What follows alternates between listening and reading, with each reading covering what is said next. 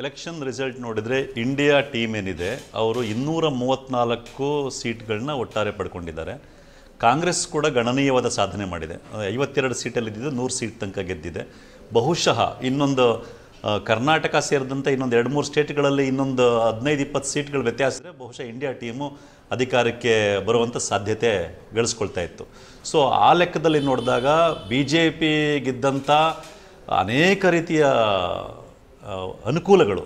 ಅದು ಮೋದಿ ಗೆದ್ದಿದ್ದ ಪಾಪ್ಯುಲಾರಿಟಿ ಆಗಿರಬಹುದು ಇನ್ಸ್ಟಿಟ್ಯೂಷನ್ಗಳ ಮೇಲೆ ಇದ್ದಿದ್ದವ್ರ ಕಂಟ್ರೋಲ್ ಇರ್ಬೋದು, ಇಡೀ ಮೀಡಿಯಾನ ಅವ್ರ ಕೈಲಿಟ್ಕೊಂಡಿದ್ದಿರ್ಬೋದು, ಮತ್ತು ಹಣಕಾಸಿನ ವಿಷಯದಲ್ಲಿ ಅವ್ರಿಗಿದ್ದಿದ್ದ ಬಲ ಇರ್ಬೋದು, ಇದೆಲ್ಲವನ್ನು ನೋಡಿದಾಗ ಏನು ಇನ್ನೂರ ಮೂವತ್ತ್ನಾಲ್ಕನ ಸೀಟ್ಗಳನ್ನ ಇವತ್ತು ಇಂಡಿಯಾ ಟೀಮ್ ಗೆದ್ದಿದೆ, ಇದು ನಿಜಕ್ಕೂ ದೊಡ್ಡ ಸಾಧನೆ ಅಂತಲೇ ಹೇಳ್ಬೋದು.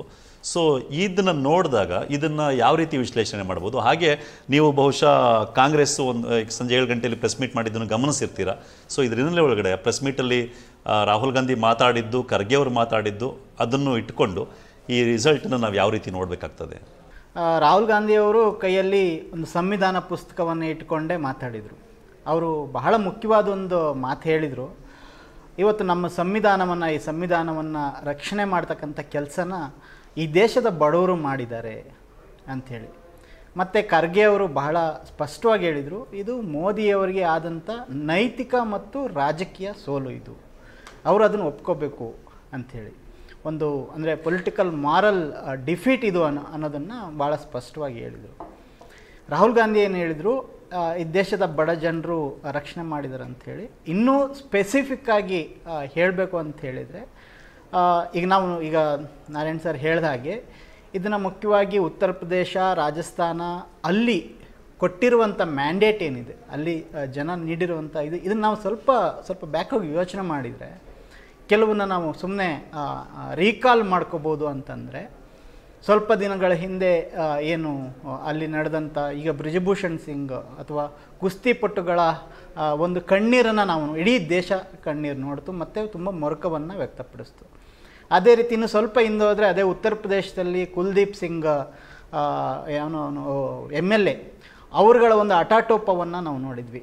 ಅದೇ ರೀತಿ ಈ ಯೋಗಿ ಆದಿತ್ಯನಾಥ ಮಾಡಿದಂತಹ ಬುಲ್ಡೇಜರ್ ಪಾಲಿಟಿಕ್ಸ್ ಇರ್ಬೋದು, ಎನ್ಕೌಂಟ್ರ್ಗಳಿರ್ಬೋದು ಅಂದರೆ ಯಾವ ರೀತಿಯಲ್ಲಿ ಜನರನ್ನು ಒಂದು ಟೆರರ್ ಮಾಡ್ಬೋದು, ಅಂದರೆ ಇವರು ನಮಗೆ ಒಂದು ಅಬ್ಸಲ್ಯೂಟ್ ಮೆಜಾರಿಟಿ ಬಂದರೆ ನಾವು ಏನು ಮಾಡ್ಬೋದು ಅನ್ನೋದನ್ನು ಇದೇ ಒಂದು ತೋರಿಸ್ಲಿಕ್ಕೆ ಹೊರಟಂಥ ಒಂದು ರೀತಿ ಇತ್ತಲ್ಲ, ಅದು ಬಹಳ ಭೀಕರವಾಗಿತ್ತು. ಮತ್ತು ಅದೇ ಸಂದರ್ಭದಲ್ಲಿ ರೈತರ ಮೇಲೆ ಪ್ರತಿಭಟನೆ ಮಾಡಲಿಕ್ಕೆ ಹೊರಟಂತಹ ರೈತರ ಮೇಲೆ ಇವರು ನಡೆಸ್ಕೊಂಡಂಥ ಅವರನ್ನು ನಡೆಸ್ಕೊಂಡಿದ್ದಂಥ ರೀತಿ ಇತ್ತಲ್ಲ. ಇದೆಲ್ಲದೂ ಕೂಡ ಎಸ್ಪೆಷಲಿ ಹರಿಯಾಣ ಮತ್ತು ಪಂಜಾಬು, ಉತ್ತರ ಪ್ರದೇಶ ಈ ಎಲ್ಲ ಕಡೆ ಜಾಟ್ ಮೆಜಾರಿಟಿ ಏನಿದೆ, ಜಾಟ್ ರೈತರು. ಸೊ ಇಲ್ಲಿ ಯಾರ್ಯಾರೆಲ್ಲ ನಿಜವಾಗಿ ಸಂತ್ರಸ್ತರಾಗಿದ್ದರು ಅಂದರೆ ಆ ಒಂದು ದಬ್ಬಾಳಿಕೆಯನ್ನು ಅಂದ್ರೆ ಅಥವಾ ಬಿ ಜೆ ಪಿ ಸರ್ಕಾರ, ಮೋದಿ ಮಾಡಿದಂಥ ಒಂದು ಅಟಾಟೋಪಗಳನ್ನು ಯಾರೆಲ್ಲ ಸಹಿಸ್ಕೊಂಡಿದ್ರು, ಅವರುಗಳು ನೀಡಿರುವಂತಹ ಮ್ಯಾಂಡೇಟ್ ಇದು.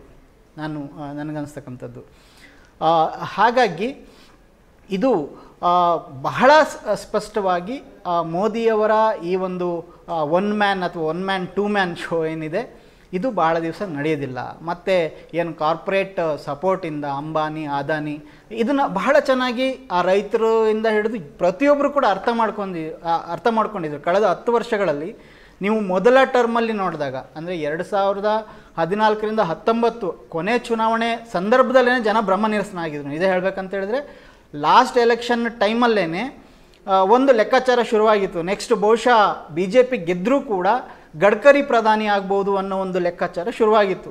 ಅದನ್ನು ತುಂಬ ಕಡಿಮೆ ಬರ್ಬೋದು ಅಂತೇಳಿ. ಆದರೆ ಯಾವಾಗ ಪುಲ್ವಾಮಾ ಆಯಿತು ಆಮೇಲೆ ಈ ಬಾಲಾಕೋಟ್ ಹೆಸರಲ್ಲಿ ಒಂದು ಫೇಕ್ ನೆರೆಟಿವ್ಗಳನ್ನು ಅಂದರೆ ಒಂದು ಯುದ್ಧೋನ್ಮಾದವನ್ನು ಕ್ರಿಯೇಟ್ ಮಾಡಿ ಇವರು ಮಾಡಿದರು. ಇದರ ಕಾರಣಕ್ಕೋಸ್ಕರ ಮತ್ತೆ ರೀ ಎಮರ್ಜ್ ಆಯಿತು, ಮತ್ತೆ ಮೋದಿ ಅಮಿತ್ ಶಾ ಅವರ ಒಂದು ಇದು ಬಂತು. ಬೇರೆ ಏನು ಕಾರಣಗಳಿರಲಿಲ್ಲ. ಲಾಸ್ಟ್ ಟೈಮೇ ಇವರು ಅಧಿಕಾರಕ್ಕೆ ಬರಲಿಕ್ಕೆ.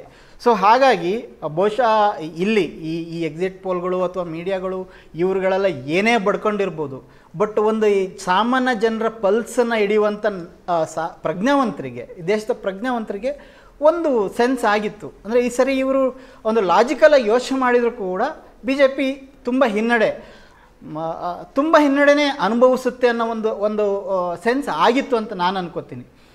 ಸೊ ಆ ರೀತಿಯಲ್ಲೇ ನಾವು ಈಗ ಬಹುಶಃ ನಿಮ್ಮ ಈ ದಿನ ಇರ್ಬೋದು, ಅಥವಾ ಬೇರೆ ಬೇರೆ ಸಿವಿಲ್ ಸೊಸೈಟಿ ಏನಿದೆ ನಮ್ಮ ಕರ್ನಾಟಕದಲ್ಲಿ ಅಥವಾ ಆಲ್ ಇಂಡಿಯಾ ಮಟ್ಟದಲ್ಲಿ ಸಿವಿಲ್ ಸೊಸೈಟಿ ಬಹಳ ಜವಾಬ್ದಾರಿಯಿಂದ ಕೆಲಸ ಮಾಡ್ತು ಮತ್ತು ಆ ಪಲ್ಸ್ನ ಜನರ ಒಂದು ಮೀಡಿಯಾಗಳು ಎಷ್ಟೇ ಮಾರ್ಕೊಂಡಿದ್ರು ಕೂಡ ಜನರ ಧ್ವನಿ ಆಗಲಿಕ್ಕೆ ಪ್ರಯತ್ನ ಪಟ್ಟಂಥ ರೀತಿ ಇದೆಲ್ಲ.